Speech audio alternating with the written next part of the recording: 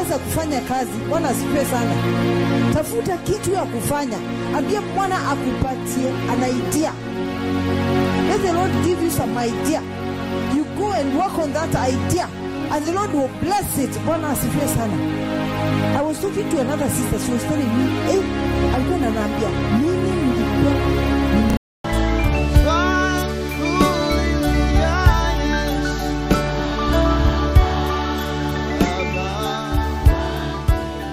to hear your voice. Help us, Lord, even as your Holy Spirit directs our steps. We are so desperate for you, Jehovah. We have looked east, west, north, south. We never found help. The only help we can get is from you, Jesus. That is why we just want to surrender to you. We want to surrender to you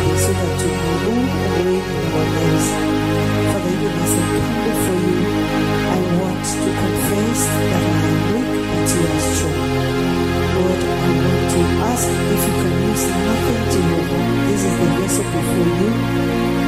Jehovah, I have nothing of my own. I ask you, Lord, yet again, if you can use nothing, Jehovah, this is the vessel.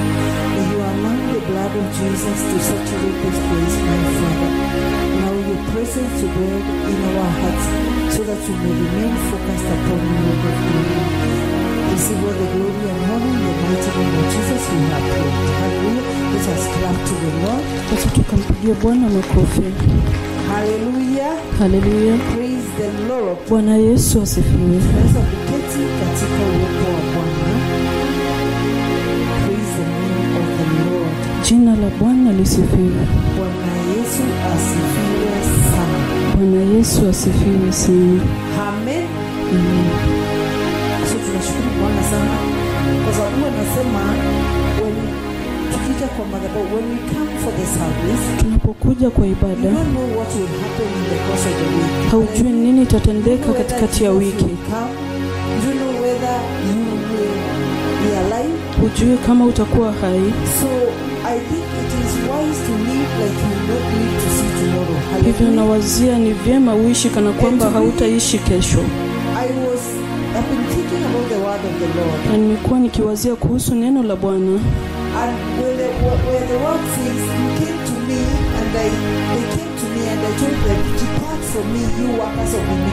na, na neno lilikuwa linasema, walikuja kwangu naye nikawaambia, ondoka kwangu wewe mtenda, mtenda maovu. Sikujui, sikujui. Bwana Yesu asifiwe my mind. Kisha jambo lingine likapitia mawazoni so pangu. many religions. Kuna dini mingi sana. There is the Maria, Maria there is, is another one. Jehovah to Witness. Bwana asifiwe sana. And every religion, they believe that they are on the truth. na kila dini linaamini they are the ones who are who have the truth. na kila dini wanaamini ya kwamba wao ndio wako na ukweli. I was talking somebody. We work together. there, they work in they in South Africa. Nilikuwa nazungumza na mtu fulani ambayo tunafanya naye kazi pamoja, naye yuko uh, Afrika kusu, Yeah, Kusini, so they are in this religion. na sasa wako katika hiyo dini, Call it again, Jehovah's Witness. Jehovah's Witness. dini ya Jehovah Witness. Even as I was trying to Na nilipokuwa najaribu kum, so alikuwa ameshawishika kabisa, like na alikuwa ananiambia lidia wajua niko namna hii. Alikuwa ananielezea kile ambacho wao wanaamini, na nilikuwa nasema Bwana, sijawahi kukuona mtu binafsi. Hakuna mtu amewahi kumwona Bwana. Pengine manabii wakuu sana wa Bwana kwa kuwa wanaenda binguni mbinguni, lakini kile ambacho nasema ni hiki, Lord, please Lord help me? Je, wakati mwingine una, unasimama if na kumuuliza Bwana akusaidie? kusaidie ya kwamba kama kuna udanganyifu wowote ndani yangu, kama kuna chochote yenye sijui, unisaidie ya kwamba niweze kuingia. Haleluya! Kwa, sababu jambo mbaya zaidi ni kuamini ya kwamba unaenda binguni mbinguni.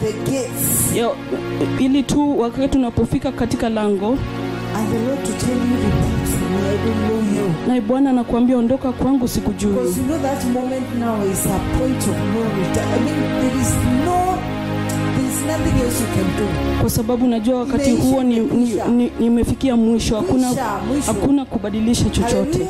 And you just tell you, that is where you belong. na atakwambia tu huko ndipo wewe unastahili kuwa. Ni ya kutisha sana Going to heaven is not a joke. kwenda mbinguni sio mchezo And then the worst thing, it is hidden to all of us. alafu jambo la kutisha kwa, ni kwamba imefichika kwetu sote You don't know. haujui Hallelujah. haleluya So we can never, I think that is where, where now we will say that we can never judge. Hivyo hapo ndivyo tunaweza sema kwamba hauwezi kumhukumu mtu Because as the Bible says, judgment belongs to the Lord. kwa sababu jinsi ambavyo biblia inasema hukumu ni ya bwana. Lakini hata hivyo the neno. Haleluya uh, Revelation chapter 3. hivyo bwana amekuwa akinena nasi katika kitabu cha ufunuo sura ya tatu Church in Philadelphia, kunena kuhusu kanisa la filadelfia so the Lord is saying, Unto the angel of the church in Philadelphia, write, This thing says He who is holy, who is true, He who has the key of David, He who opens and no one shuts, and shuts and no one's open. I know your works. See, I have set before you an open door, no one shut it. For you have a little strength, have kept the, my word, and have not denied my name. Indeed, I will make those of the synagogues of Satan who say they are Jews and are not, but lie. Indeed, I will make them come and worship before your feet, and to know that I have loved you. Because you have kept my commandment persevere, I will also keep you from the hour of trial which shall come upon the whole world to test those who dwell on the earth. Behold, I am coming quickly. Hold fast what you have, that no one may take your crown. biblia inasema kwenye kitabu cha ufunuo yohana sura ya tatu kuanzia mstari wa saba kwa malaika wa kanisa lililoko filadelfia andika haya ndiyo maneno yake yeye aliye mtakatifu na wa kweli yeye aliye na ufunguo wa daudi anachokifungua hakuna awezaye kukifunga wala anachokifunga hakuna awezaye kukifungua. Na yajua matendo yako. Tazama nime, nimeweka mbele yako mlango uliofunguliwa wala hakuna awezaye kuufunga. Ninajua kwamba una nguvu kidogo lakini umelishika neno langu wala hukulikana jina langu.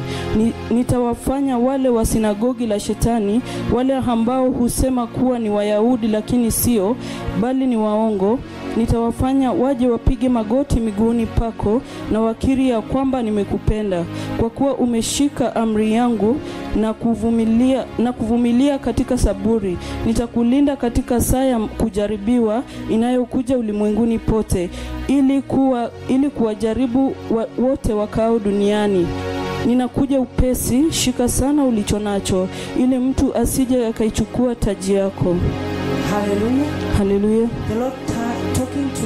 church in Philadelphia. bwana akinena na kanisa la church- This is the model of the church that the Lord is preparing for entry into eternity. na hii ndio muundo wa kanisa ambayo bwana anaiandaa kuingia katika So umilele characteristics of this church. hivyo tunaona sifa za kanisa hili The church that has not loved their lives even as unto death. kanisa ambalo halikupenda uhai wake hadi kupa- kufikia kufa. Because we see in the book of Revelation chapter 12, he's talking about they did not, they, they overcame the evil one by the word of the testimony and by the blood of the Lamb, and they did not love their lives even as unto kwa sababu tunaona kwenye kitabu cha ufunuo wa yohana sura ya kumi na mbili ya kwamba kuna ushuhuda ya kwamba hawakupenda maisha yao hata kwa kufikia kifo.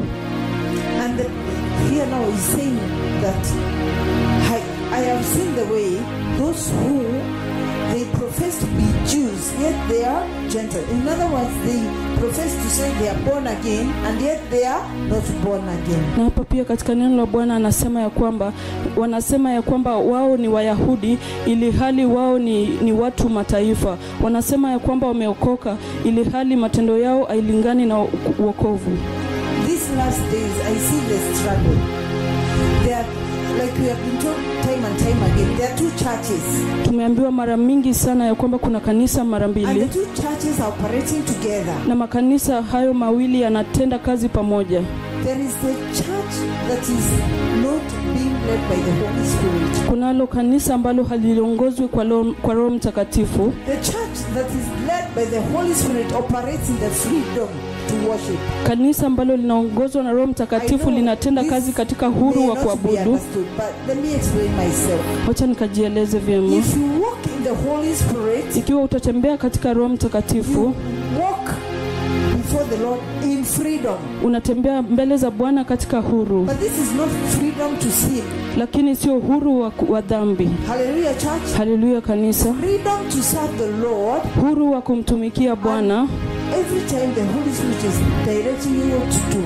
na kila mara roho mtakatifu wa mungu anakuongoza kile cha kutenda Isaiah chapter 30 verse 20 21, you hear a voice telling you, do not turn to the left, do not turn to the right. This is the way, walk in it. Hallelujah. anasema kwenye kitabu cha isaya sura ya 30 mstari wa nane ya kwamba hii ndiyo njia usiende upande wa kushoto wala kulia tembea ukielekea mbele This church is not operate, operated by do's and don'ts. hii kanisa haiongozwi na fanya hili usifanye lile Hallelujah. haleluya kwa sababu kuna kanisa huenda tukawa katika kanisa moja by the rules. Don't do this, don't do that. kuna wengine wamefungwa sana na usifanye hili usifanye lile In the Lord, mbele za bwana we are led by the rule of the Holy Spirit. tunaongozwa na utawala wa roho mtakatifu unapomsikiza kuna wakati atakuambia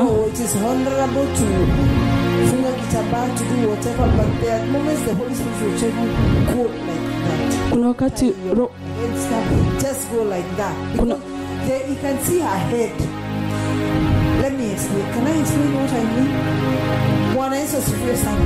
All people, watu wote ni wanani? Ni wa Mungu, si ndio? So saa zingine kuna watu wengine Bwana anataka uhudumie katika hali fulani, so hautakuwa bound by kama kama mimi wewe ni mtu wa kufunga kitambara na naona this person ukienda na kitambara wataona kama this is religion you understand? Are we together? Wataona there are some people they think because we tie headscarves we are in a cult. Kuna watu baadhi yao wanafikiria kwamba kwa kuwa tunafunga vilemba so tuko katika mfungo fulani. matters hivyo kujionyesha kwako kwa mara ya kwanza ni muhimu sana. Yeye ni bwana. Ana- anajua kila kitu kuhusu kila mtu. he loves everyone. The sinners the Muslims the Hindus. Anapenda kila mtu wenye dhambi waislamu kila mtu. So hivyo.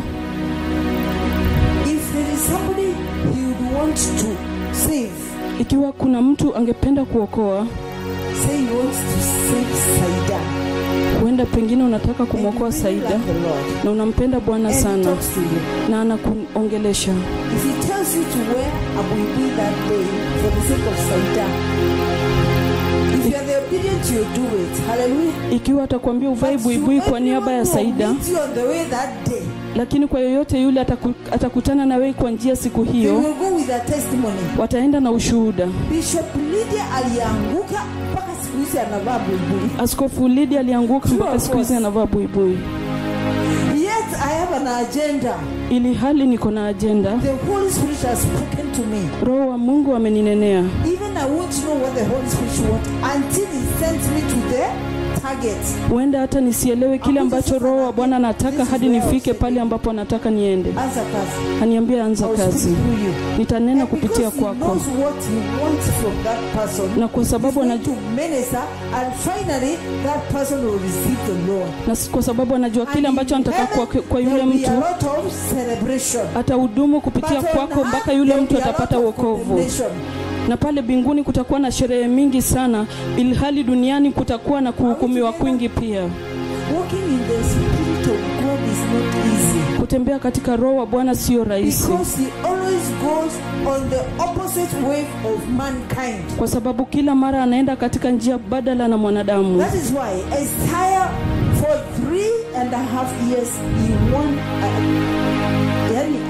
alitembea uchi matako juu. na ndio maana isaya kwa miaka tatu na nusu alitembea uchi Everybody said he says he's the man of God.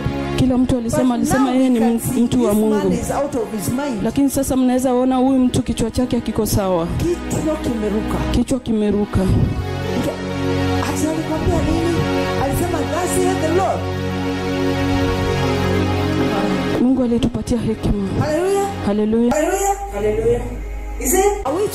Je tuko pamoja ways of the Spirit of God, njia za roho wa mungu they are contrary to the ways of man. ziko kinyume na njia za But wanadamu therein is eternal life. lakini hapo ndani kuna uzima wa milele As many as led by the Holy Spirit of Yahweh, are the children of God. wale wengi wanaoongozwa na roho mtakatifu wa yawe wao ni watoto wa mungu Now, this church of Philadelphia, na hili kanisa la Philadelphia it has grown. imekuwa She has grown to the extent that she just listens to the Holy Spirit. amekuwa kiasi ya kwamba anasikiza tu roho mtakatifu Lord has spoken, ili mradi tu bwana they amenena don't hawajali Hawaj, hawajali mtu ananena nini kuwahusu they don't want to hear. hata hawataki kusikia That is where you see the masses prophets, whatever they are promised to do, they will not care who thinks what about them. na ndio maana unaona manabii wa bwana wanapoamua kufanya jambo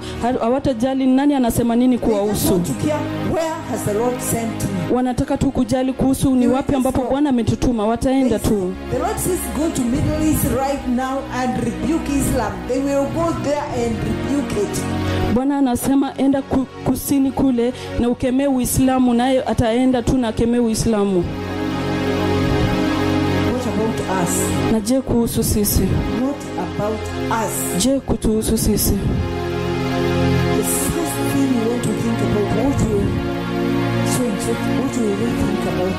Jambo la kwanza unataka kuwazia ni nini ambacho watu watasema kunihusu watawaza kunihusu? Kufanya mapenzi ya baba is not easy. siyo rahisi It only takes the Lord. inahitaji tu bwana And so he is saying, na hivyo anasema because Kwa you sababu- have kept my word, kwa sababu umelitii neno langu kuvumilia I will also preserve you. nami nitakuhifadhi I will keep you nitakuhifadhi the hour of trial. kutoka saa ya kujaribiwa the world. ambayo inakuja ulimwenguni. that encourages me jambo moja ambalo linanitia nguvu ikiwa bwana amenena matter how many are against you, haijalishi ni wengi, wa, wa, wengi, kiasi gani wako dhidi yako. He will confound everyone that spoke against the word of the Lord. ikiwa utasimama na bwana basi atahukumu kila mtu aliyenena dhidi yako Hallelujah. haleluya I will keep you from the hour of trial. nitakuhifadhi kutokana na saa ya kujaribiwa ambayo inakuja ulimwenguni says, Be careful, lest alafu anasema makinika your crown is taken away from you. japokuwa taji lako likaondolewa toka kwako So hivyo hata baada ya kusimama na bwana uh, strive to ensure that you stand, you remain on that highway of holiness. ni lazima ung'ang'ane na uhakikishe kwamba umesimama na ukabaki katika njia kuu ya The utakatifu book of Ephesians, chapter 6, talking about spiritual warfare. kwenye kitabu cha waefeso sura ya sita kunena kuhusu vita vya kiroho After Paul is talking about being uh, covered with the whole armor of God, baada ya paulo kunena kuhusu kufunikwa na na na, na vazi la, vazi la, la mungu vazi la vita anasema he say anasema having done all, after you have fought the battle and won, Ba- make sure that you stand. baada umepigana vita na ukashinda hakikisha kwamba umesimama Let me tell you, church, worst moment for any Christian. Wacha niwaambie kanisa saa mbaya kabisa kwa kila mkristo. a mighty, mighty victory. ni, ni baada ya ushindi mkuu mkuu sana. Because after a mighty victory, ba, kwa sababu baada ya ushindi mkuu that is where most of us Christians will relax. hapo ndipo sisi wakristo wengi huwa tuna, tunatulia na tunabaki katika utukufu wa jana. tunanena kuhusu utukufu wa jana. enemy lakini adui anapanga kuanguka kwako leo. Je uko tayari kwa ajili ya vita ya leo? ukisahau kuhusu jana. Ushindi wa jana. Na, na, ku, na kujitiisha na kusimama na agano la mungu na kuhakikisha ya kwamba umesimama Ensuring that you stand firm. hakikisha ya kwamba umesimama imara Ensuring that you keep the testimony. ukihakikisha ya kwamba umeweka ile ushuhuda When you look at after most of this may big, wakati unaangalia baada ya hizi mikutano kubwa sana hapo ndipo wakristo wengi sana huwa That is wanaanguka when most Christians, they even coming to the altar is a problem. hapo ndipo baada Call them and remind them. wakristo wengi hata wanapata, we have uh, procession. wanapata tabu hata kuja kwa madhabahu inabidi wapigie simu wakumbushe ya kwamba jumamosi tunakuwa na kitu fulani katika madhabahu. Ile moto inapata kuzimia. Every time you have a big victory, kila mara unapokuwa na ushindi it mkuu is always good practice huwa tu ni jambo njema sure that you go before the Lord. kwenda mbele za bwana kwa katika unyenyekevu. nyenyekea na uingie katika toba. ambia bwana aondoe kila kiburi ya maisha In yourself. ondoa kila kitu ambacho kinafanya ujiamini wewe mwenyewe Some people say, Oh, you know me, watu wengine wanasema unajua mimi I am waiting upon the Lord. I, I really wait upon the Lord. You know, the Lord speaks to me. mimi ninamgojea bwana bwana hunena nami bwana hu, hunionyesha vitu That is very good. hiyo ni bora kabisa. Lakini Ensure hakikisha that you are humbling yourself before the Lord all the time, ya kwamba unajinyenyekeza mbele za bwana kila wakati remaining in His presence. ukibaki uweponi Look mwake at the life of David. tazama maisha ya Every daudi time, and the Lord always gave him victory. kila mara bwana alipompatia ushindi But at no point did David behave like he knew how to go against the enemy. lakini hakuna wakati ambapo daudi alijiendeleza kana kwamba alijua jinsi ya, kuendea adui yake came from. yeye alijua tu mahali ambapo nguvu zake zilitoka always go to Prophet Samuel. na Ask kila mara angeenda kwa nabii samueli ask him, shall we pursue them? na angemuuliza je tuwafuate Always checking with the Lord. kila mara akiangalia bwana always check everything you do with the Lord. je kila mara wa, waangalia kila kitu unafanya nda bwana je unamuuliza nitafanya hiki Bwana Yesu asifiwe sana. bwana yesu asifiwe? Je nitafanya hiki. Shall I pursue? je nita, nitafuata hii. Or you just see what others have done and you see they are shining and you are like, even me, I'm going to do it. ama unaona tu wengine wamefanya na unaona wanang'ara unasema pia mimi nitakifanya. Haleluya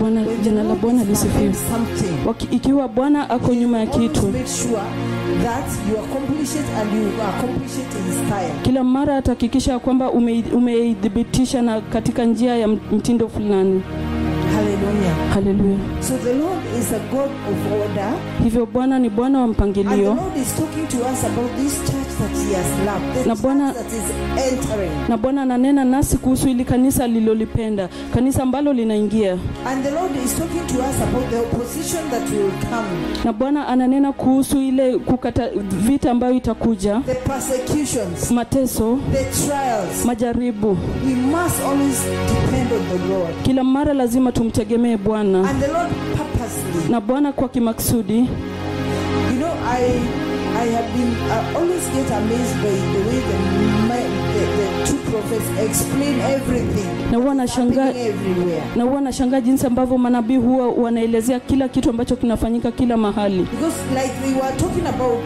the earthquakes all around the earth, the earthquakes, the uh, tsunamis.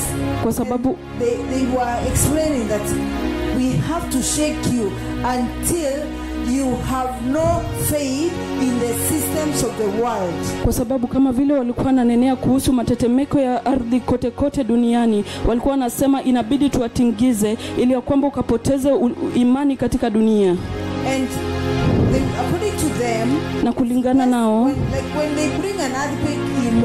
wanapoleta tetemeko la ardhi hapa mombasa it is better to have 5,000 die in their sin ni vyema upate elfu tano wafe katika dhambi zao Now make 20,000 to receive Jesus. Lakini sababisha isababishe to the Lord and receive Jesus. lakini sababisha watu ishiri, elfu ishirini wapokee yesu na wamwogope yesu Are we together? je tuko So pamoja every time you see an earthquake, that is God's love. hivyo kila mara unapoona tetemeko la ardhi hiyo ni upendo wa mungu.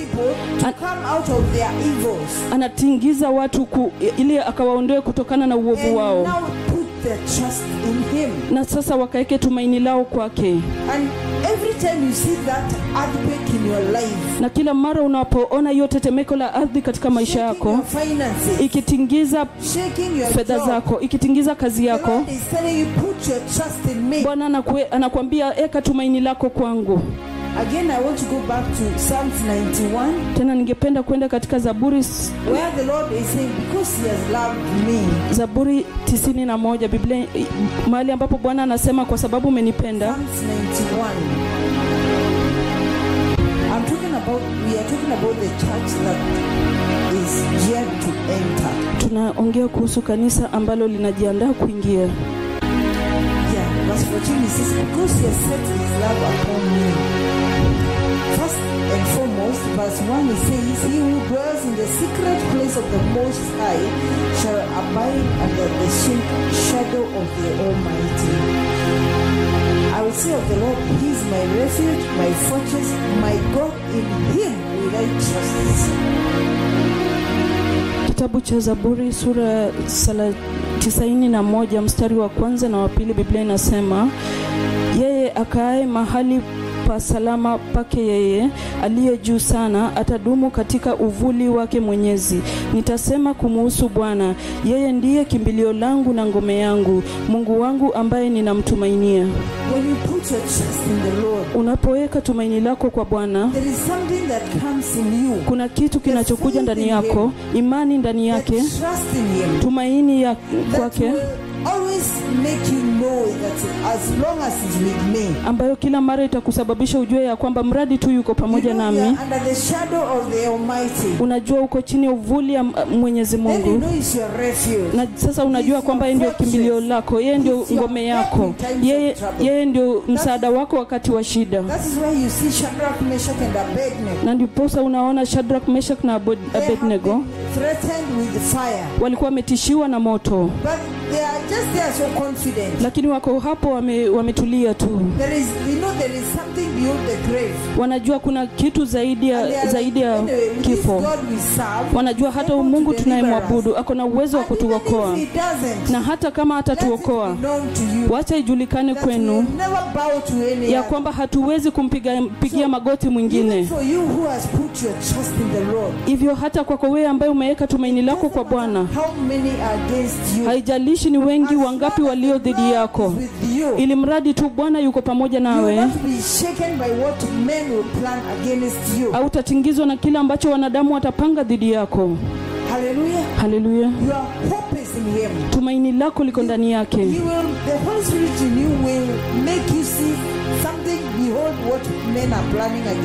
roho mtakatifu wa mungu ndani yako atakuonyesha uone kitu zaidi ya kile ambacho wanadamu wanapanga dhidi yako. Hivyo ndio maana, maana walipokuwa wanampiga mawe stefano hakuona zile mawe. But he saw Jesus seated on the throne. lakini alimwona yesu akiwa ameketi enzini And I can imagine he, he was not even thinking about the death that he was going to pass through. na alikuwa nawazia hakuwa nawaza hata kuhusu kifo ambayo alikuwa He aipitie was already thinking about life in the glory land. lakini sasa yeye alikuwa nawaza kuhusu maisha and katika utukufu Please cast those stones very quickly and Na- you know na alikuwa anasema tafadhali mngerusha hizo mawe haraka ili niweze nife niende mahali ambapo ninapaswa kuwa the kanisa ambalo linaingia. Sasa kanisa hili linajua. In the book of Philippians chapter 3 verse 20 to 21 lipo sura ya ishirini sura, sura ya tatu mstari wa ishirini ishirini na moja. And the Bible says that we are nothing but pilgrims in this in this earth. Na biblia inasema ya kwamba sisi si kitu bali ni wasafiri tu katika ulimwengu huu For our citizenship is in heaven, from which we also eagerly wait for the Savior, the Lord Jesus Christ, who will transform our lowly bodies, that it may be conformed to his glorious body, according to the working by which he is able to subdue all things to himself.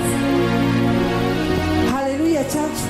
Biblia inasema kwenye kitabu cha wafilipi sura ya tatu mstari wa ishirini lakini uwenyeji, lakini uwenyeji wetu uko binguni, nasi tunamgoja kwa shauku mwokozi kutoka huko yaani bwana yesu kristo Hallelujah.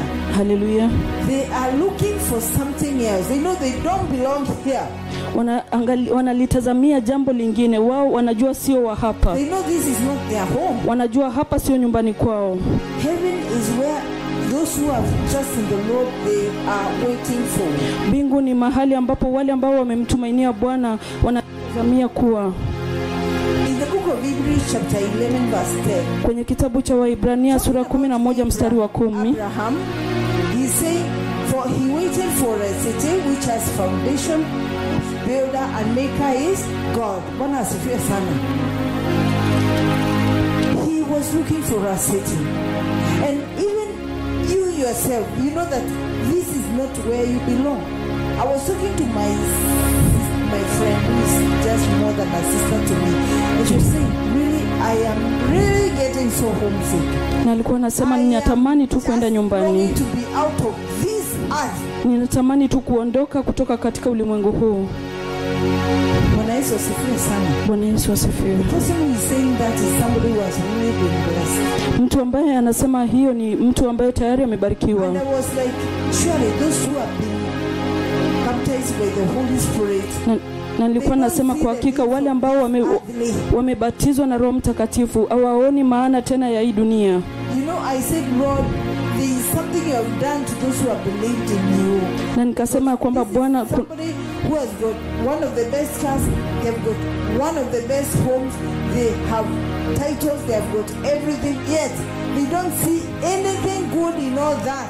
na nikasema kwa hakika bwana kuna jambo ambayo umetenda katika moyo ya wale ambao wamekutumainia. Kwa sababu huyu ni mtu ambaye ako na mojawapo ya gari mzuri zaidi ako na vitu vyema katika hii ulimwengu lakini moyo wake haiko tena katika hii dunia So it's just like Paul was saying, everything I have ever considered worthy in this life, now I consider it as done. I kama- may know and glorify Jesus, that I may know the Lord and the power of his resurrection. ni kama vile wakati paulo alikuwa anasema kila kitu ambacho niliona cha muhimu katika ulimwengu ninaiona sasa kama mavi ya kwamba nikapate kuurithi ufalme wa mbinguni church. Haleluya kanisa We have reached at a place where we need now to seek the things of eternity. tumefikia mahali ambapo sasa unahitaji kutafuta vitu vya umilele Knowing very well there's nothing in this life that is permanent. ukijua vyema kabisa ya kwamba hakuna kitu katika ulimwengu ambayo inadumu milele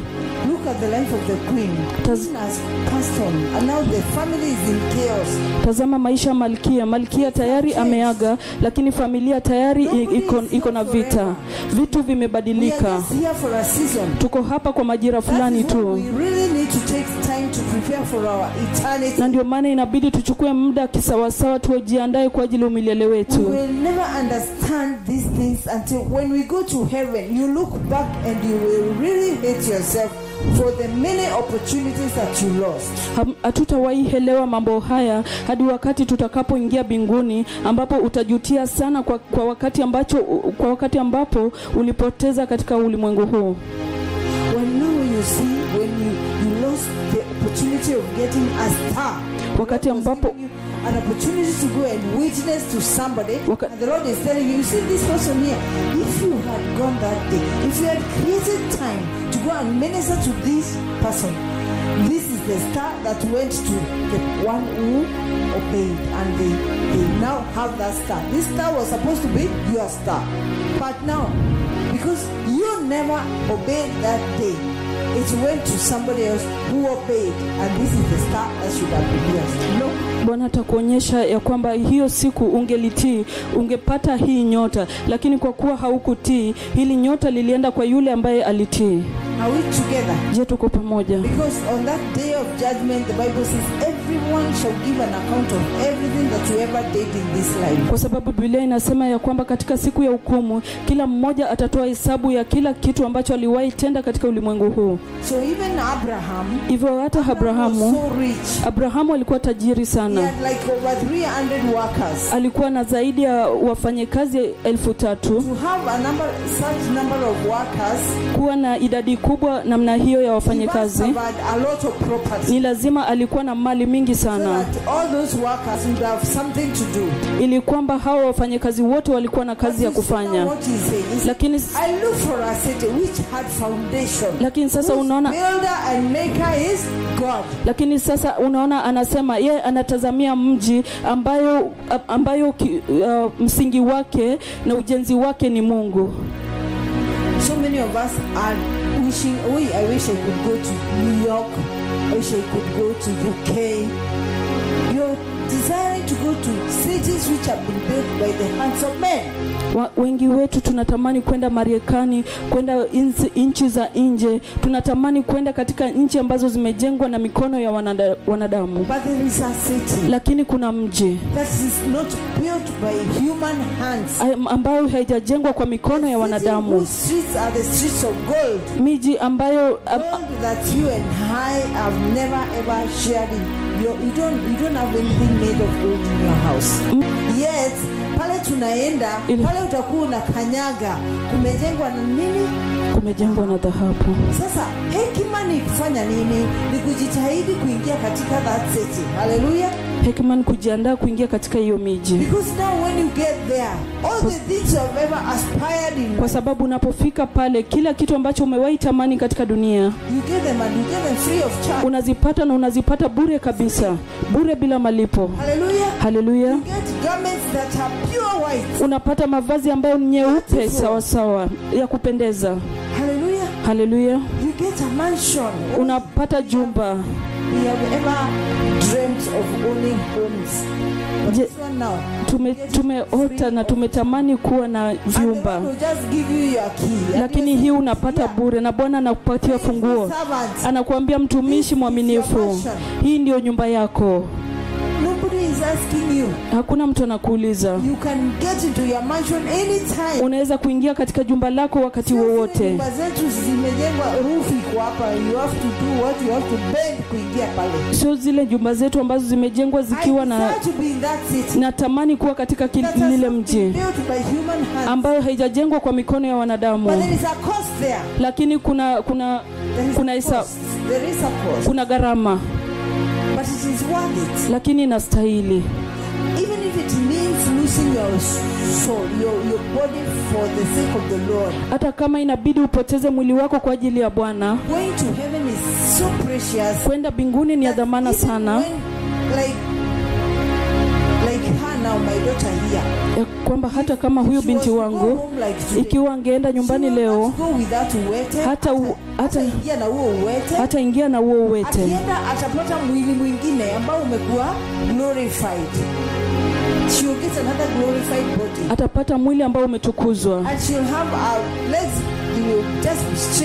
na miguu yake itakuwa imenyoka. Na atakuwa anatembea kawaida. Na atakuwa na mwili uliotukuzwa. Kwa hivyo kwa hakika inabidi tutamani sana kuwa katika hii mji ya bwana. Lakini unapokuja kwa hili kanisa lingine church that is so lukewarm. Kanisa ambalo ni vuguvugu sana. And the Lord has a word for that church. Na bwana ana neno kwa ajili ya hilo To kanisa. the angel of the church of the Laodicean This thing said the Amen, the faithful and the true witness, the beginning of the creation of God. I know your works, that you are neither cold nor hot. I could wish you are cold or hot. So then, because you are lukewarm, neither cold nor hot, I will vomit you out of my mouth. Because you say, I am rich, I've become wealthy and need of nothing, and do not know that you are wretched, miserable, poor, blind, and naked.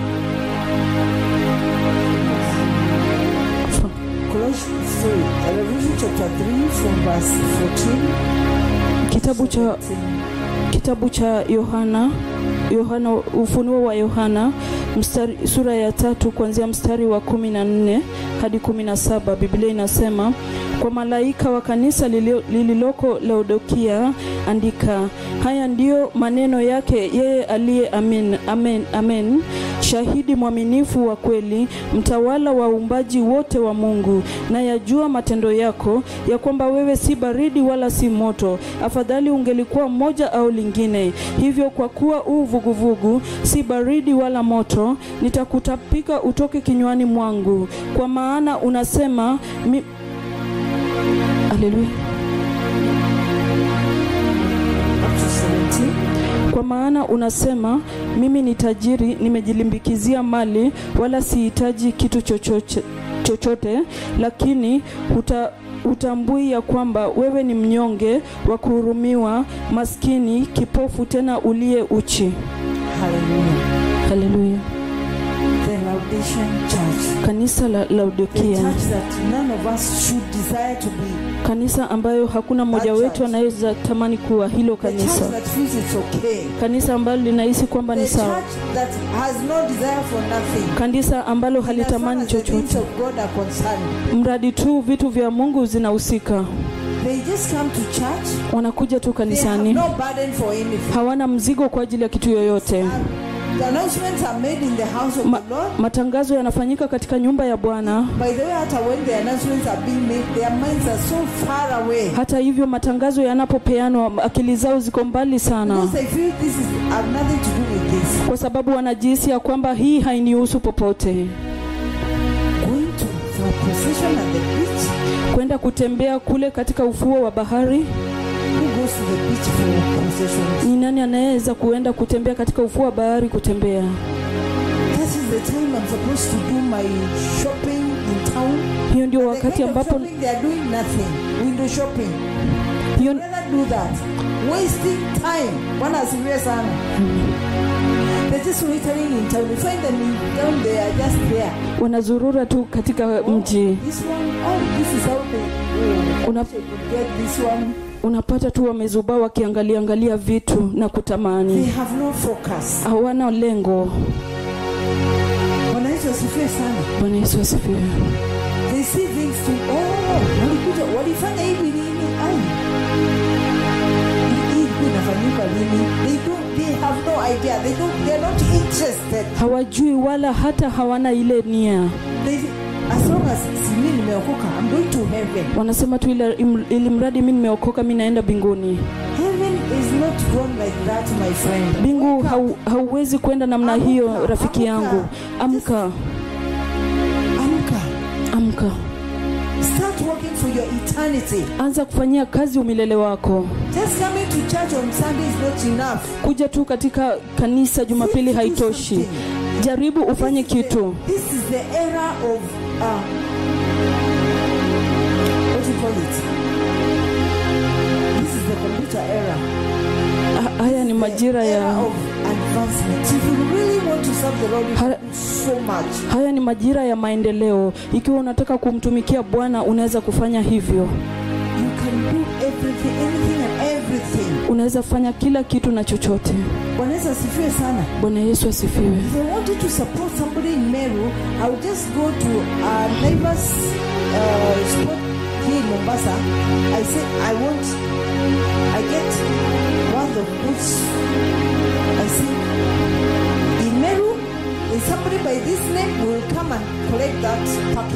ikiwa ningependa ku, kusimama na mtu yule ako kule meru naenda tu pale naivas Distance is not a nafa- na, nanunua kitu kisha namtumia. Umbali sio kitu. Bwana Yesu asifiwe. bwana yesu asifiwe. You can encourage somebody on your phone. Una, unaweza muhimiza mtu kupitia simu yako kwa ujumbe. Hallelujah. haleluya unaweza kufuatizia and encourage people. na kuhimiza mtu Tell them Jesus is coming. mwambie yesu anarudi Tell them I, I want to give you a scripture you read. I'll check in the evening whether you have read it. Mwambie ningependa kukupatia andiko usome nitaangalia jioni mpigie mtu simu ukaombe na yeye Pray with them. omba pamoja na yeye haleluya Share a worship song. shiriki ibada ya, ya wimbo But don't defile people's hearts. lakini usinajisi mioyo ya watu somebody say, ah, unajua sasa what I- hey, hey, hey, no. usimpigie mtu simu kumnajisi kumwambia Every word that you have ever spoken, kila neno ambayo umewahi you kunena will give an account of it. utatoa hesabu yake Na usiwe mtu wa kusambaza uongo wenye watu wametoa. na usiwe mtu wa kusambaza uongo ile matapishi ambayo mtu ametema wewe una- unaichota unapaka una, una, unapaka kwa wengine Has no feelings. Kanisa la leodokia halina hisia. liko vuguvugu. You know, it is very easy. najua ni rahisi sana. Can we talk church? je tunaweza zungumza kanisa. The, the lukewarm church, Lile- madhabahu, lile kanisa vuguvugu katika madhabau yoyote kama kungekuwa na, wa, na waislamu wangependa kuchinja wakristo nyali ingekuwa ni rahisi sana. kwa sababu wangekuja kanisa kwa jumapili moja mbili and they will seek to know are inactive Christians. na wangependa kujua wale wakristo ambao wako vuguvugu And that is enough. na hiyo inatosha You know, they, they will just call them and say, oh, so and so, wow, wow. I can see. No, they ask, would you love to drive a good car? Of course, like yesterday. na wangempigia simu na waambie fulani wa fulani je ungependa kuendesha gari mzuri alafu watasema ndio tell you it's very simple. atakwambia ni rahisi sana We want to,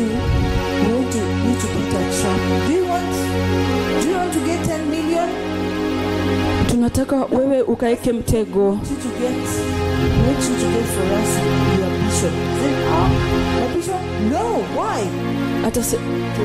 Watamwambia tunataka wewe utuletee askofu wako.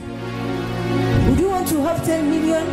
Alafu watauliza je unataka milioni kumi? Oh yes, of course, I want 10 million. ndio nataka milioni kumi. Basi hiyo ni rahisi. It is not easy. Utamwambia basi hiyo ni ngumu haiwezekani. They will be, how do I do it? kisha atauliza basi nifanye nifanyeje? Jifanye tu uko mgonjwa sana. Muulize askofu aje nyumbani kwako. Mwambie unahitaji tu maombi yake. Na hivyo hiyo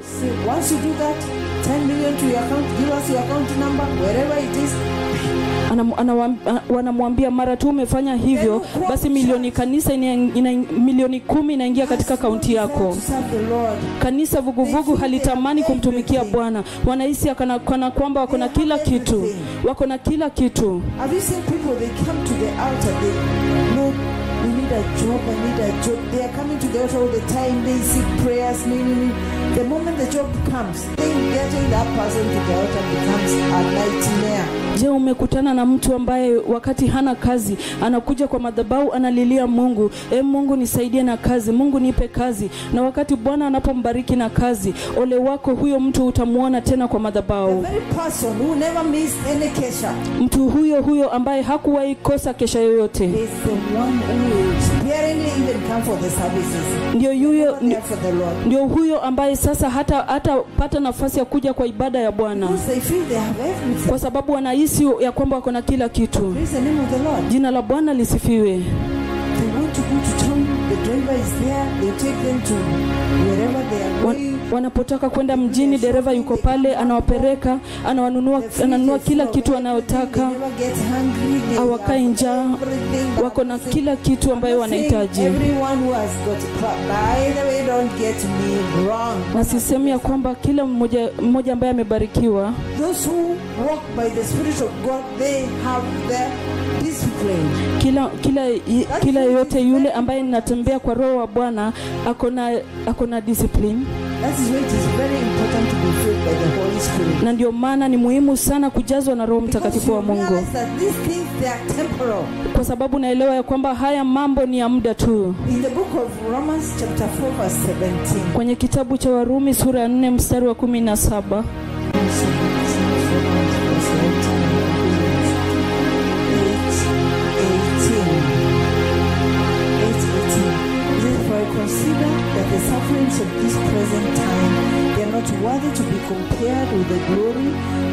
be revealed in us. Then, as you read that, Kitabu cha Warumi sura ya nane mstari wa 18, na hesabu mateso yetu ya wakati huu kuwa si kitu kulinganisha na utukufu utakaodhihirishwa kwetu.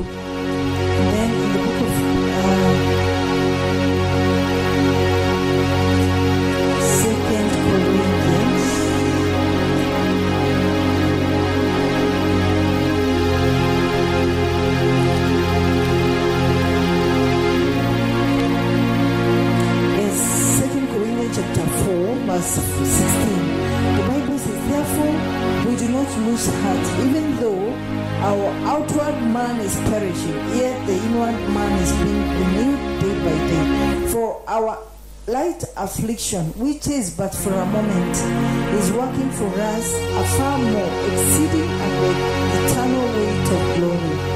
While we do not look at the things which are seen, but at the things which are not seen. For the things which are seen are temporal, but which are not seen, they are eternal.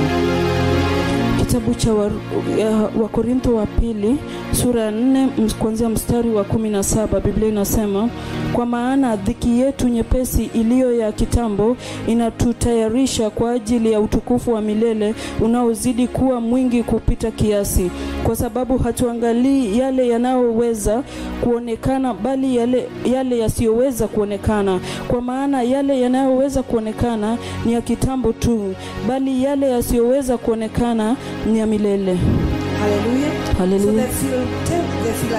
Church. Hivyo kanisa la filadelfia. Philadelphia wao ni wenye hekima sana, hawaharibu wakati na vitu vya muda. Wanajua kwamba majina ni ya muda, haijalishi ni aina gani ya jina ambayo wamekupa. Hiyo jina ni ya muda tu. Hata hata don't rais know. A president can only be valid for only two terms at most. rais anaweza tu kufanya kazi kwa kwa kwa tamu mara mbili. So that title of presidency can only be valid for at most two terms. Hiyo kwa hivyo hiyo jina ya urais iko iko tu na uhalali wake kwa kwa miaka mi, that title can be. na hivyo ndivyo ilivyo fupi hiyo hiyo jina yake. Hallelujah, church. Haleluya The kanisa. things of this world they are so temporal. Vitu vya ulimwengu huu ni wa muda mchache tu, haijalishi utukufu inayoizunguka bali tu ni, ni ya muda, lakini vitu vya milele hazionekani. Hallelujah. Haleluya, seen. hazionekani ili hali zinadumu milele. And the Bible is saying, na biblia inasema hii kanisa vuguvugu. Laiti gani ungekuwa baridi au moto?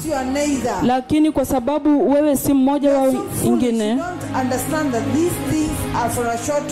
wao ni wapumbavu ya kwamba hawaelewi ya kwamba vitu hivi ni ya muda. I am going to spew you out with fire. ninaenda kukutema nje kwa moto The lukewarm church. kanisa vuguvugu The church that has no feelings. kanisa ambalo halina hisia kwa ajili ya bwana.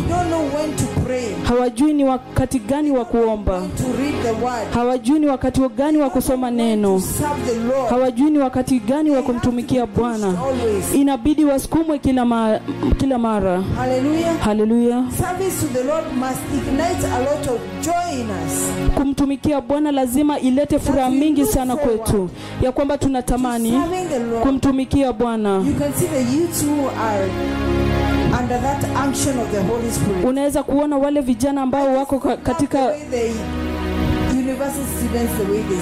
wale vijana ambao wako chini ya utendakazi wa roho mtakatifu every time in the morning they are serving. unasikia kila mara asubuhi wanafanya kazi Very early in the morning, wako kwa stage, they are just ministering. asubuhi na mapema wako pale wanahudumu tu neno How mighty. kuu kiasi gani You know, that's the best way to exercise your knowledge. hiyo ndio njia bora zaidi ya kuonyesha umaarifa wako kumtumikia bwana katika, katika njia kuu Hallelujah, church. haleluya kanisa This church, we must decide to be kanisa hili lazima tutamani kujazwa na roho mtakatifu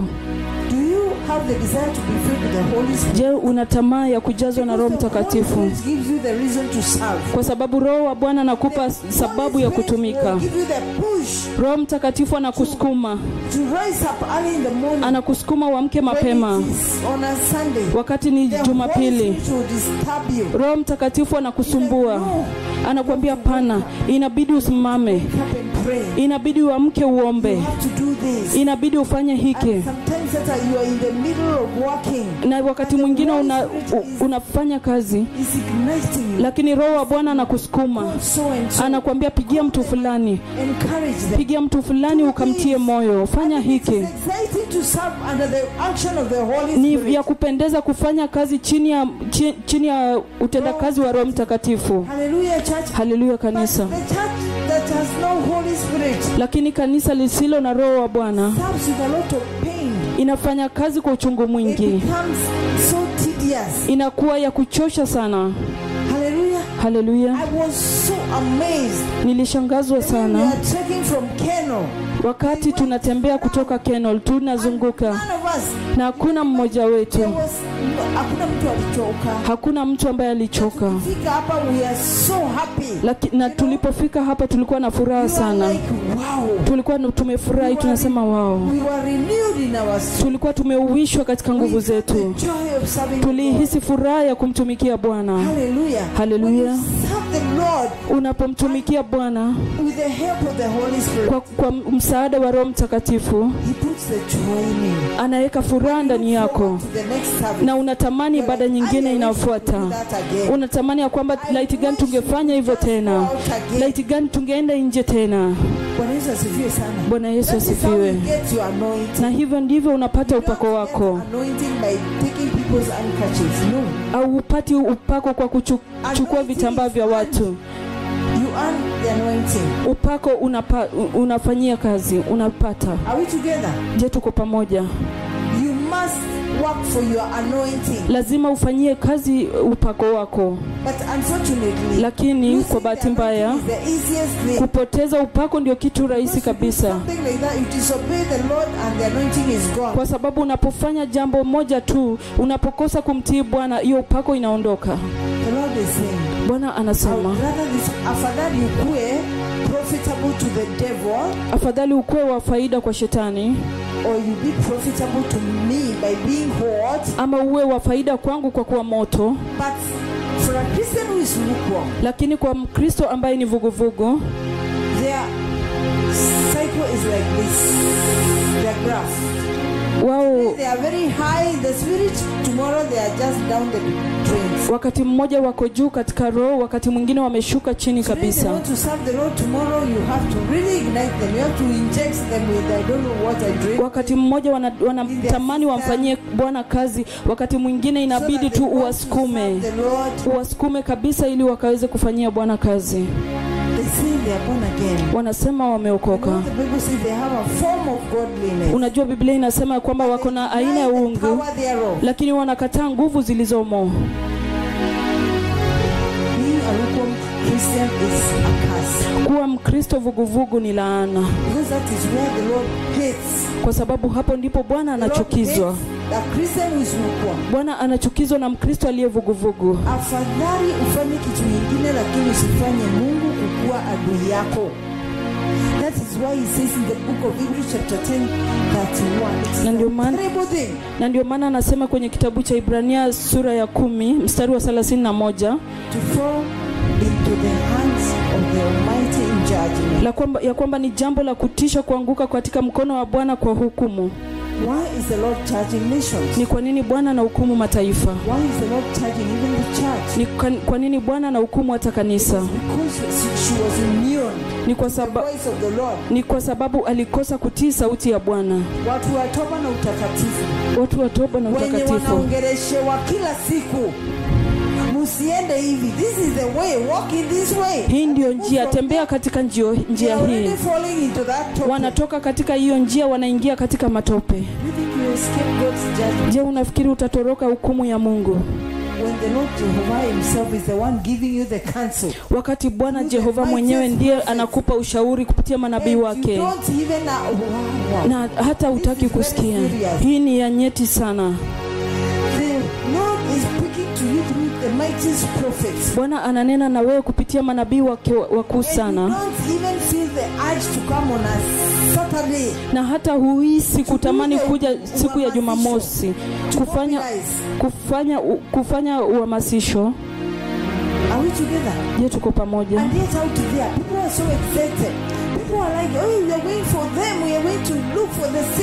na ilhali kule nje watu wamefurahi. watu wanasema wanaenda kutafuta wagonjwa. Unaposikiza katika redio time I listen to the radio, I'm like, oh Lord, I've never served you. kila mara ninaposikia redio ninasema ya kwamba oh bwana sijawahi kukutumikia never redio huwa inanisababisha kutenda mambo ambayo sikuwahi kusudia kufanya Could it be that we are really retrogressing? je yaweza kuwa ya kwamba tunarudi nyuma We are getting into apostasy. tunaingia katika mwanguko wa Some imani kwa sababu baadhi yetu hata We tusikizi are redio so out of touch tumekosa tu kuungamanika with what is happening. na kile ambacho kinaendelea We have not tuned to the channel of the Lord. kwa sababu hatujaji- hatujajiungamanisha na ile channel ya bwana what is the pattern. kujua ni nini mpangil, nini, ni nini muundo We are so blessed tumebarikiwa sana we have a radio station ya kwamba tuko na redio that is keeping us alert on a- our toes. ambayo inatuweka kuwa makinifu And kila wakati. speaking all the time. na bwana ananena kila mara. And a lot of na kuna uhamasisho mwingi sana. Hivyo hauna sababu. We cannot afford to be lukewarm. Hauwe- ha- hatuwezi jimudu kuwa vuguvugu. sio katika majira haya. Haleluya, haleluya to raise up. inabidi tuinuke The Bible says during those days biblia inasema that we are living in 2 Timothy chapter 3. biblia inasema katika kitabu cha timotheo wa pili sura ya tatu wacha tupitie zile sifa za hii kanisa vuguvugu Before we go to 2 Timothy chapter 3 verse from verse 1 to 5, in the book of Titus, Titus is just next to the second Timothy. Chapter 1 verse 16. The Bible says they profess to know God, but in works they deny him. They are being abominable, disobedient, and disqualified for every good work. kitabu cha tito sura ya kwanza mstari wa, wa kumi na sita wanadai kumjua Mungu, wanadai kumjua Mungu lakini kwa matendo yao watu ni chukizo wasiotii wasiofaa kwa jambo lolote Haleluya, haleluya how do you say you're born again? Je utasema ya lakini jambo li, wakati mwingine uko katika dhambi ya, ya usherati ba, baada ya hiyo unadanganya watu The next thing you are you hey, the Lord help us. These people, watu hao watakuambia tafadhali ni- nikope elfu kumi. Nitakurudishia kesho.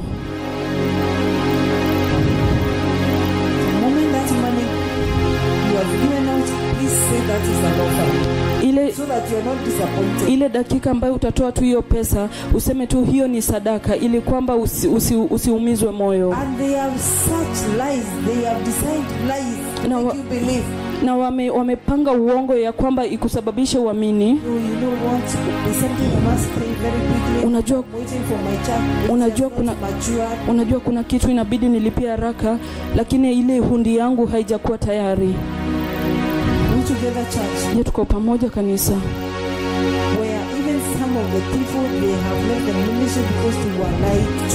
Ambapo hata Their money. Watu, we, watu wengine waliacha huduma kwa sababu walidanganywa. walidanganywa na mtu ambao walimwamini. walimwamini nao hiyo pesa ikapoto, ikapotea.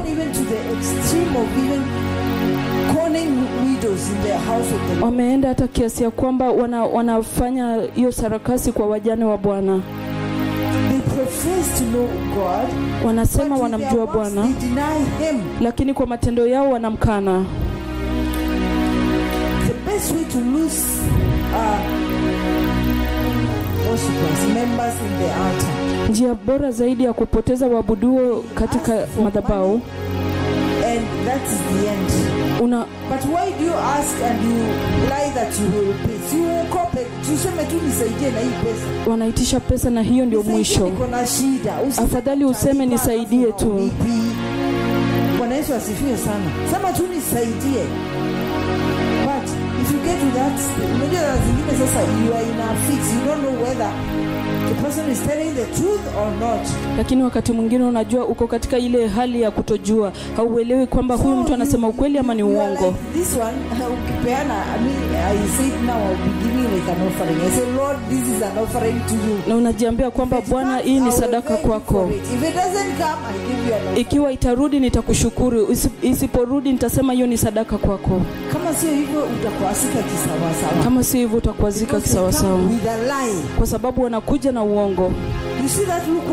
Unaona hiyo hiyo kanisa vuguvugu jinsi inavyojiendeza messing up the name of the Lord. inaharibu tu jina la bwana And they have no boundaries. They go even to borrow money from the heathens. na hawana mipaka hata wataenda kukopa pesa kwa watu mataifa The name of the ministry. hata wameharibu jina ya huduma These people watu hawa huwa hawalipi deni Let your yes be yes and your no be no. wacha ndio yako iwe ndio na la iwe la Don't go to people and tell them, ah, oh, give me this, I will pay. Usiende kwa watu waambie nipe hii nitaregesha. Nilikuwa nasubiri mtu. Walikuwa naleta pesa yangu lakini wamechelewa. Na kuna mtu anafaa kwenda kufanyiwa upasuaji saa Give me hii. This money. I tafadhali nisaidie na hii pesa nikimbie hospitali. Nitakuletea pesa yako kwa wakati kama huu kesho. Unapopeana hiyo pesa sahau Ume, umetoa sadaka. Wanadai kumjua mungu. lakini kwa matendo yao wanamkana. Bwana Yesu asifiwe. Usiwahi fanya hivyo. ikiwa wewe ni aina hiyo tafadhali leo tubu mbele za bwana. kwa sababu nimeona watu ambao wameumiza wengi sana. Mtu alikuamini. Alikupa pesa yake. Na kwa sababu ya, ya kutokuwa mwaminifu biashara ya mtu huyo iliharibika. Uliharibu ulikosea hiyo jamii yote. Haukuwahi kusimama na neno lako. Let your yes be yes and your no be no. wacha ndio yako iwe ndio na la iwe la Let us now go to Second Timothy. sasa wacha tuende kwenye timotheo wa pili tuone jinsi ambavyo kanisa vuguvugu linajiendeleza sura ya tatu But know this, that in the last days perilous times will come. Perilous. Siku za shida. Men will be lovers of themselves. Men. Lovers of themselves. Of money. Boasters. Proud. And you know, I, I, I, I have always wondered why when you boast, you are proud, isn't it? But the Lord is repeating those words. Kumaanisha hii ya kiburi it will, it will be something eh? to be an issue during these last days. They will be blasphemous, blasphemous, blasphemous, disobedient to parents, unthankful, unholy, unloving, unforgiving, slanderous, without self-control, brutal, despisers of good, traitors. Ona sasa traitors, ah, headstrong, haughty. Haughty now is also another word for proud. Lovers of pleasure rather than lovers of God. Having a form of godliness. Now repeating again Titus chapter 1 verse 16. Having a form of godliness but denying its power. From such depart, turn away.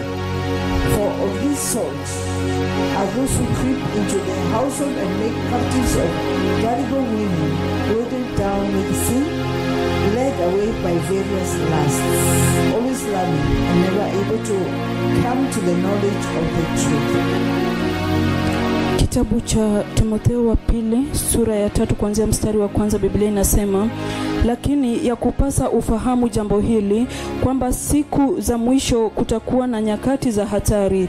Kwa maana watu watakuwa wenye kujipenda wenyewe wenye kupenda fedha wenye kujisifu wenye kiburi wenye kufu, kufuru mungu wasiotii wazazi wao wasio na shukrani wasio wat, wa, watakatifu wasio na upendo wasiopenda kupatanishwa wasingiziaji wasiozuia tamaa zao wakatili wasiopenda mema wasi, wasaliti wakaidi waliojaa majivuno wape, wapendao anasa zaidi kuliko kumpenda mungu wakiwa na mfano wa utaua kwa nje lakini wakizikana nguvu za mungu jiepushe na watu namna hiyo Thank you. Thank you very much. Having a form of godliness but denying the power thereof. wakiwa na mfano wa uteua lakini waki- wakikana nguvu zake Haleluya, watu wa toba. Haleluya, watu wa toba. Watu wa toba, you have been called to be wise. watu wa toba mmeitwa muwe wenye hekima na bwana Wisdom comes from the Holy Spirit. hekima hutoka kwa roho mtakatifu Tuacheni ujinga. Haleluya. haleluya kando. Allow me to address this people now. Tuweke ujinga kando. Mungu ametuita kukua werevu.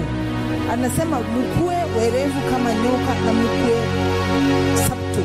I mean, subtle like snakes, lakini mukue na uh, unyenyekevu kama jiwa. Haleluya. You must work hard and earn a living for yourself. Has not called you to be a beggar. God is calling each one of us to work. And this is very clear.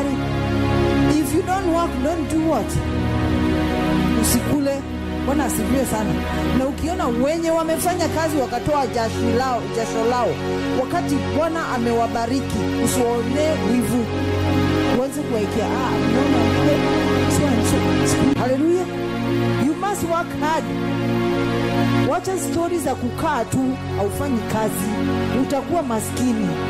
Umaskini unakuja kama ufanyi kazi, lakini ukiinuka uanze kufanya kazi utafukuza uta, ufukara. Can I talk to you people? Bwana Yesu asifiwe. The fact that you are born again does not make you stupid. The Lord wants to bless the work of our hands. Bwana asifiwe sana. Kama ufanyi kazi, Bwana atabariki nini nini ndani yako. inuka anza kufanya kazi. Bwana asifiwe sana. Tafuta kitu ya kufanya. Ambia bwana akupatie an idea let the lord give you some idea.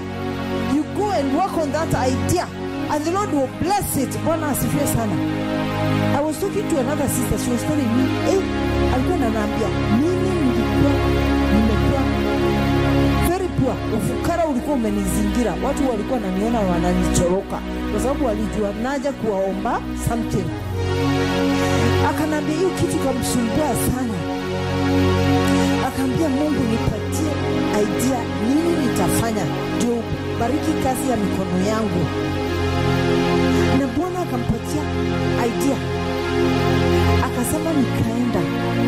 Nikaanza kufanya hiyo idea na nikiombea akanambia siku hizi nimenunua shamba nimejenga kwa hiyo shamba.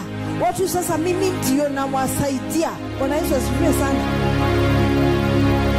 Tuko katika hiyo hali shetani anakuweka hapo sio pahali pako.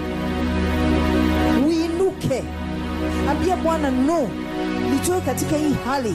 Anza kufanya something. Start doing something. Somebody. Haleluya tunafanya something tukingojea yesu arudi. Tukikuja kwa madhabahu tunafanya kazi ya bwana tunafagia madhabahu ya bwana tunafanya tunafanya tunatoka hapo tunaenda tunaweka biashara hapa ilianza na tomato ya shilingi tano. Bwana asifiwe. Hiyo shilingi tano ikazaa ikawa sita. Siku ya kwanza. Siku ya pili bwana akaibariki ikawa 12 shillings. Ikaendelea hivyo ikaendelea hivyo not despise the days of your small beginnings.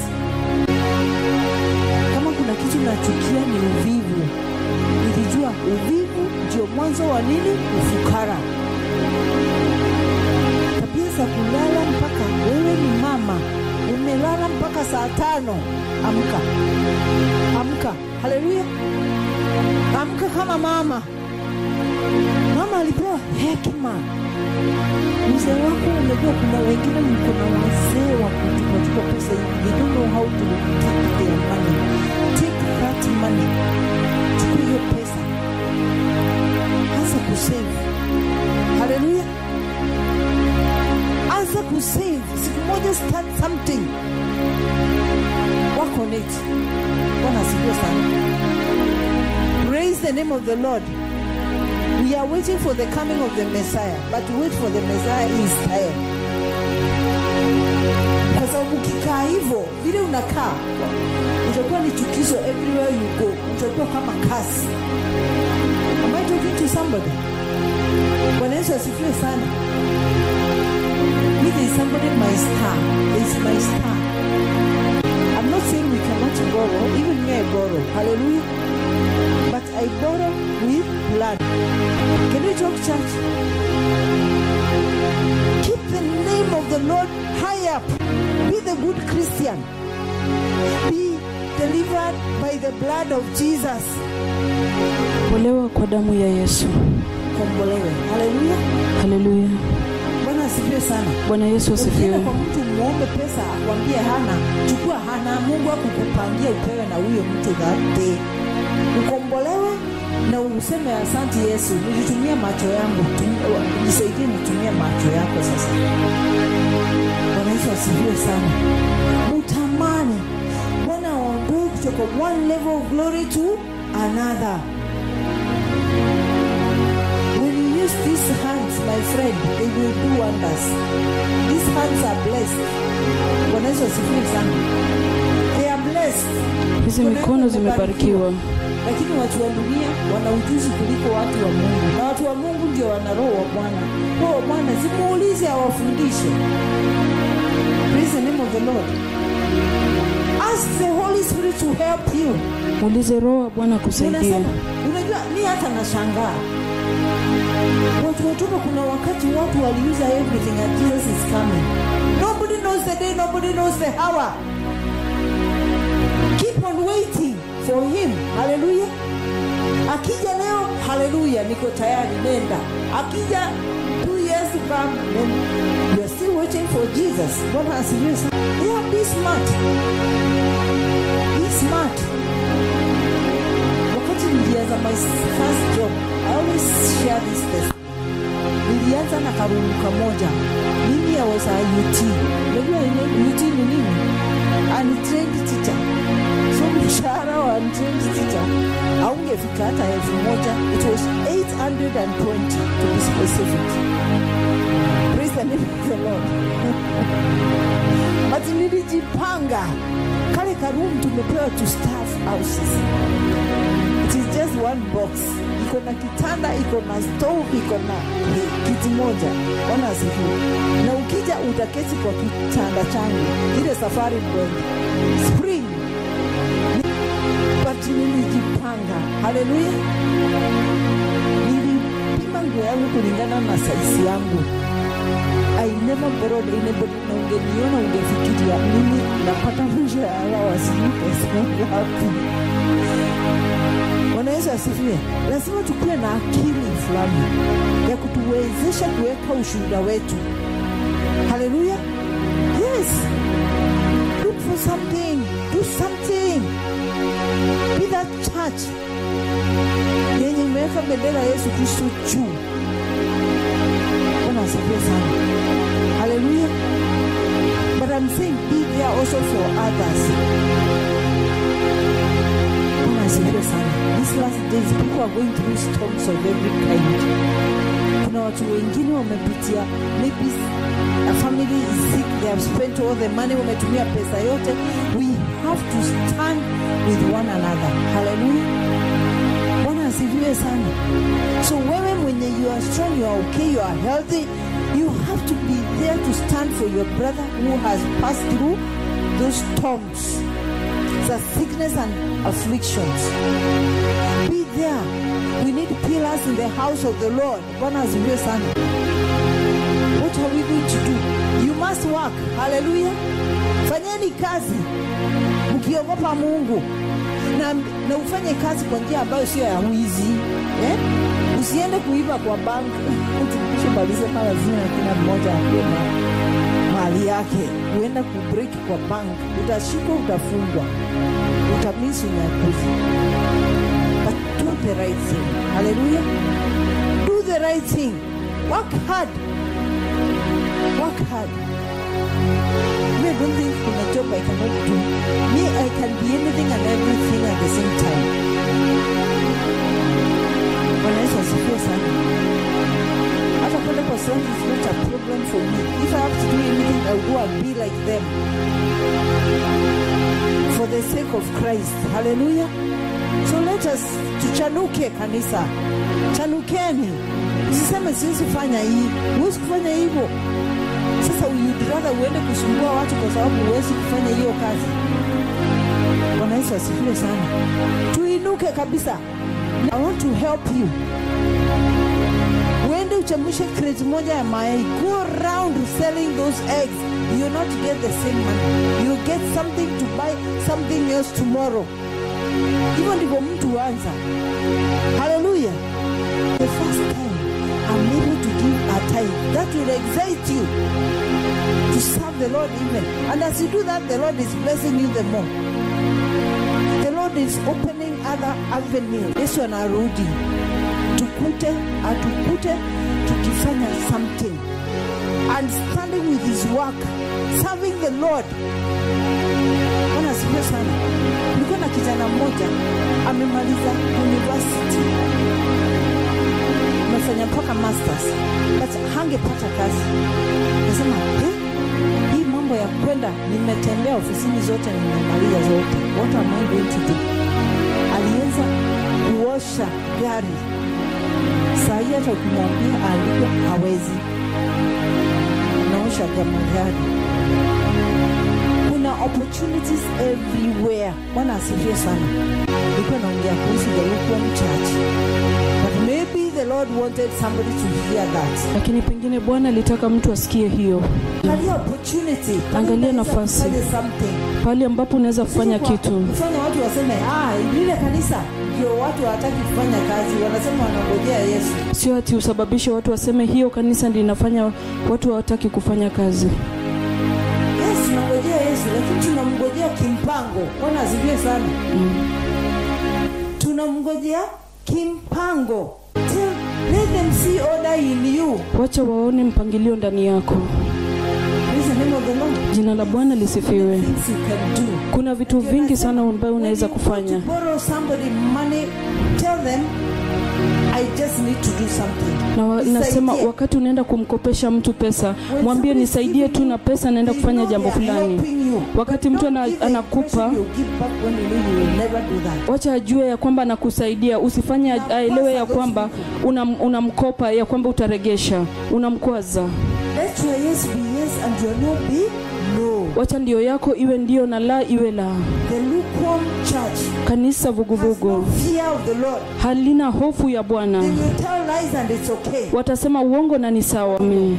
You are you're talking lies all the time in the name of ah, niliambia Mungu anisamehe. unanena uongo kila mara ukisema niliambia mungu anisamehe. wacha out mungu. wacha tuondoke kutoka kwa uovu. wacha tutokane na hii hii ujinga ya, kus, ya matukano. sikuwaiona hizi vita katika zile makanisa nilizotoka. In those churches, we are taught to respect kwa zile makanisa tulifundishwa ku- kuwaheshimu watu wa mungu. Haleluya I never saw people fighting for titles. sikuona watu wakipigania majina.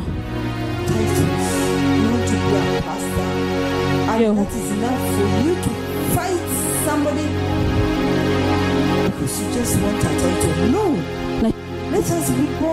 Hiyo inakutosha tu upigane na mtu kwa sababu unataka cheo.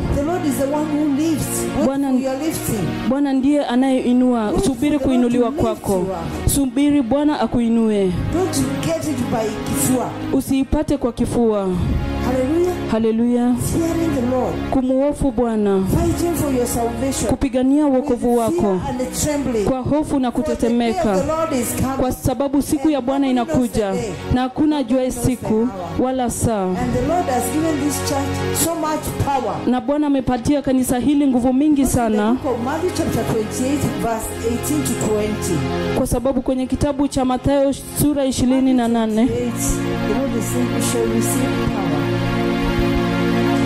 28, 18 to 20. Naweza kutusomea na kwa Kiswahili. Matthew 28, 18 to 20.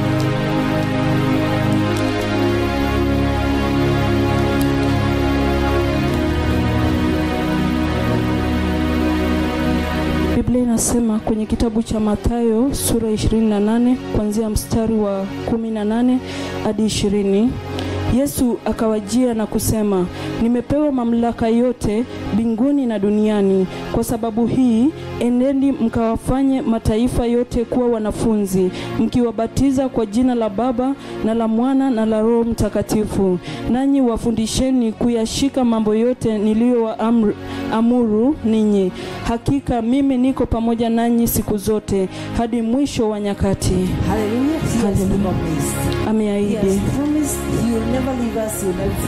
ameahidi ya kwamba hata says, waituacha "Go ye unto the uttermost parts of the world. anasema tuenende katika ulimwengu na tufanye wanafunzi. hiyo ilikuwa ni amri You have not received power. haujapokea nguvu. Kwa sababu ni kwa nini unahitaji nguvu? hautawahi kutoka nje ukifanya hautawahi kuenda nje kutembea. watu ambao wanahitaji nguvu ni wale ambao wanaenda katika vita. unajua wakati unaenda katika kutembea hakika tunakata tunakanyaga ngo, tunakanyaga nyoka na ngea. Hallelujah. haleluya So the Lord will empower you. Hivyo bwana atakutia nguvu. Because you are going to the enemy's territory. kwa sababu unaenda katika eneo ya adui. As long as you are seated there, lakini ili mradi umekaa tu pale upako haukuji hivyo. You need the power of the Holy Spirit. unahitaji nguvu ya roho Mtakatifu. You need the Lord to empower you. unahitaji bwana akutie nguvu. wisdom of the Lord. unahitaji hekima ya bwana. unapotoka nje kufanya uinjilisti. bwana atakutia nguvu. With na roho wake mtakatifu The book of Jeremiah 29 11. kitabu cha Yeremia 29:11 biblia inasema For I know the plans that I have for you. plans of welfare to establish you. Eh? Jeremiah 29:11. You know, commit your ways unto the Lord. The Lord has the best plans for you. Plans of welfare and not of evil. Kitabu cha Jeremia sura 29 mstari.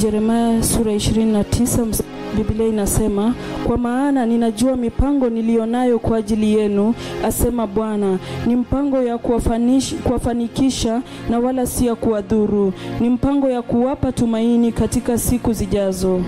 Hallelujah. Haleluya! I want to be the Philadelphia church. Ninataka kuwa kanisa la filadelfia Philadelphia, kanisa ambayo Bwana anapenda sana, anajali sana kuhusu hilo kanisa.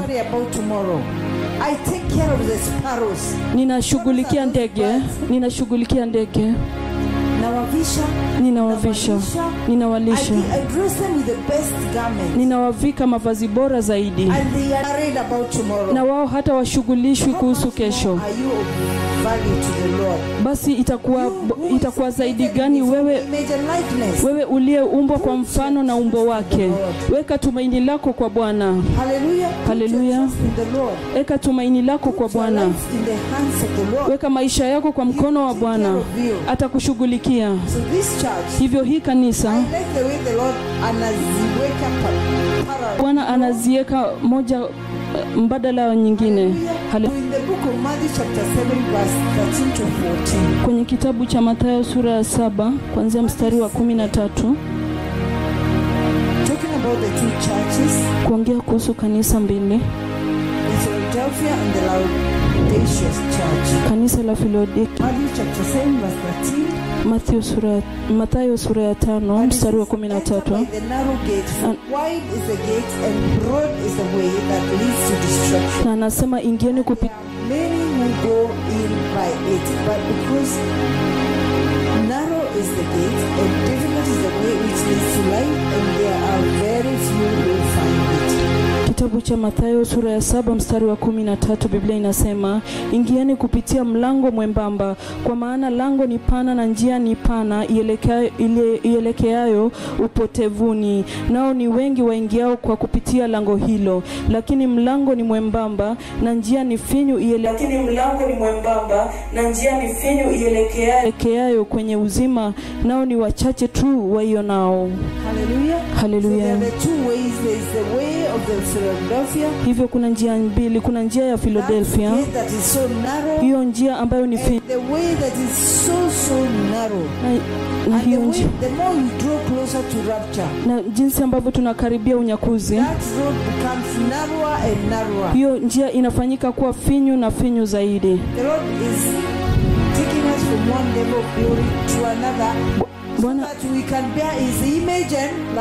Bwana anatupeleka kutoka kwa kiwango kimoja cha utukufu hadi kingine, ili ya kwamba tuweze ku, ku, kuvaa umbo wake, Creating an enmity between us and every appearance of evil. akiweka uadui Genesis chapter 3, verse 15. akiweka uadui kati yetu na chochote kiovu, kwenye kitabu cha Mwanzo sura ya tatu mstari wa kumi na tano. Hallelujah. Haleluya kanisa. Hivyo leo Chaguo ni lako. Kila mara Mungu uwekea mwanadamu, na anasema leo ninaleta mbele zako life and death. uzima na mauti, lakini anasema je, intabidi ukufe? Kitabu cha Ezekieli 33 mstari wa kumi na moja In the death of a sinner. anasema apendezwi na kifo cha mwenye dhambi. Hallelujah. Haleluya! So he's laying before every one of us today. Hivyo anaweka mbele zetu kila mmoja wetu, life and live." na anasema chagua maisha na uishi. oh. Ni kwa nini ufe, ewe mwanadamu? The Messiah is coming. Masihi yuaja. Let us not get used to that announcement. Wacha tusizohee hiyo tangazo. Hallelujah. Haleluya! Not get used to that announcement Usizoee hiyo tangazo, because for sure. kwa sababu kwa hakika First Thessalonians chapter 4. Thesalonike wa kwanza sura ya 4 mstari wa 14 hadi 18, About the hiyo ambayo inanena kuhusu unyakuzi wa kanisa, Two prophets they have kept on translating to us. hiyo ambayo manabii wakuu sana wa Bwana wamekuwa wakituangazia kila wakati, ina, inakuja kutimia. You know this, the, the, the, the unajua jambo la kuhuzunisha ni kwamba hiyo hiyo mwito wa tarumbeta ikiwa hauko katika kiroho hautaweza kuisikia. Ng'ang'ana uingie. Kwa sababu njia ni finyu.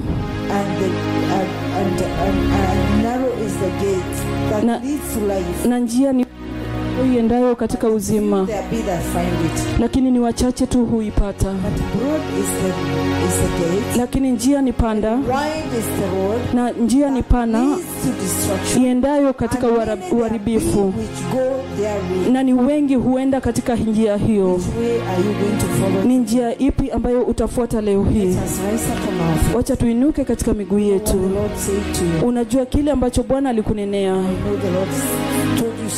Na ninajua kwamba bwana alikuambia jambo. And it is time for you now to agree with the Lord. na ni wakati sasa ukakubaliane na bwana.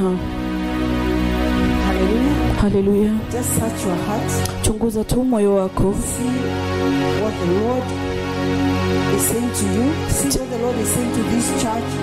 Tu angalia tu kile ambacho bwana ananena na hili kanisa. Kanisa ni wewe mwenyewe. What did the Lord talk to you about? Je bwana alikunenea kuhusu nini? Je uko tayari kumpokea bwana leo? Bwana Yesu asifiwe. Ningependa useme haya baada yangu. Yote sote tunahitaji yesu tunahitaji bwana kabadilishe maisha yetu. tunahitaji bwana kabadilishe mioyo yetu. akaondoe kila aina ya udanganyifu. Kila kitu ambacho si cha baba. Ya- ya kwamba ali aka- akapande mbegu bora ndani yetu. ya kwamba tukaweze kuzaa tunda lipasalo toba.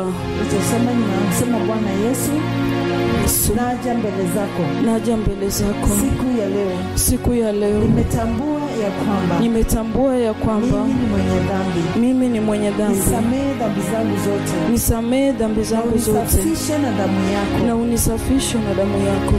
Na kupatia maisha yangu Yesu Kristo. na kupatia maisha yangu yesu kristo. Uniongoze na unitawale, uniongoze na unitawale. Unitenganishe na laana zote za ukoo. Unitenganishe na laana zote za na ibada zote za sanamu. na ibada zote za sanamu. Kuanzia siku ya leo, kuanzia siku ya unijaze upya na Roho wako Mtakatifu, unijaze upya na roho wako mtakatifu. Akanifundishe hekima yako, akanifundishe hekima yako. Nami na kuahidi ya kwamba nami nakuahidi ya kwamba nitakuabudu wewe peke yake. nitakuabudu wewe peke yake. Siku zote za maisha yangu. siku zote za maisha yangu. Andika jina langu. Andika jina langu. Katika kitabu cha uzima wa milele. Katika kitabu cha uzima wa milele. Na uniandae kwa unyakuzi. na uniandae kwa Siku unyakuzi ya leo nimeokoka. siku ya leo Asante nimeokoka kwa kuniokoa. asante kwa kuniokoa. Nimeomba nikiamini. Nimeomba nikiamini. Katika jina la Yesu Kristo, amen. Katika jina la yesu kristo. Tukampigia bwana makofi